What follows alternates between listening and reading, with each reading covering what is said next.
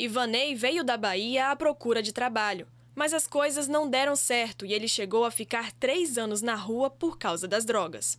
De lá para cá, ele aceitou ajuda e agora faz sete meses que foi acolhido pela comunidade. Eu já passei em oito casas de recuperação, então eu venho já a caso de adaptar, eu me adaptei rápido, né? Quem acolheu Ivanei foi Josimar, que viveu na pele os efeitos da dependência química, recebeu tratamento e decidiu multiplicar esse afeto.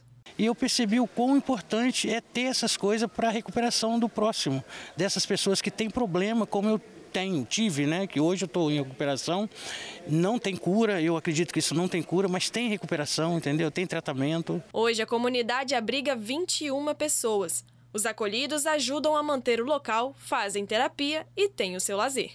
Toda a rotina é bem regrada para trabalhar a disciplina e os três pilares do tratamento. Ele é físico, mental e espiritual, né? Se livrar de uma doença como a dependência química não é nada fácil.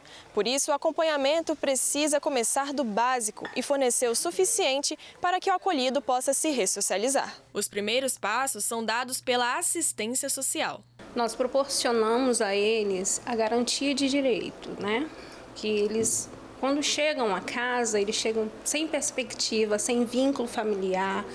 Muitos deles vêm em situação de rua, sem documentação, saúde debilitada. Já a área da psicologia promove terapias e atua no processo de reconhecimento da própria responsabilidade do acolhido. Quando a gente fala de dependência química, a gente está falando de uma doença comportamental. Ela é cognitiva, mas ela também é comportamental. Então a gente acolhe, compreende as perdas, né? A gente compreende a realidade que o acolhido vem de lá de fora. Fazemos essa psicoeducação com eles, mas a gente também trabalha com o reconhecimento da responsabilidade. A pessoa que precisa de tratamento pode chegar na comunidade por meio do Centro de Acolhimento e Ação Integral sobre Drogas, o CAAD, ou indo diretamente no espaço terapêutico.